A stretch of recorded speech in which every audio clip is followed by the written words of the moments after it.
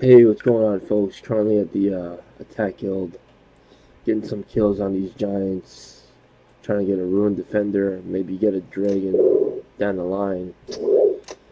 But, um, relatively, uh, not that bad, not that bad. Just up here fighting giants. And I actually need to head downstairs anyway, so I'm going to show you guys what I've been doing to get some extra um, to um, guild tokens. This is different than Grace and all that kind of stuff, but it's all good. Good now. Put down another step in the bank trade here. Not a bad area to train, believe it or not, but I don't know.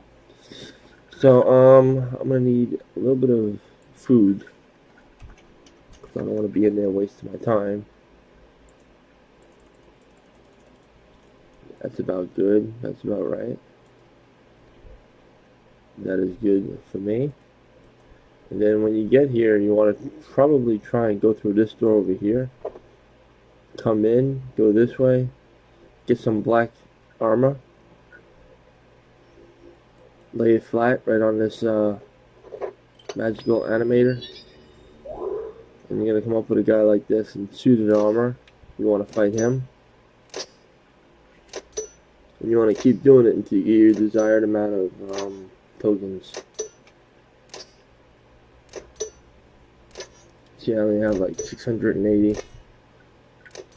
So, uh, it's to take a little bit of time. Then you pick up your armor. Keep repeating the process.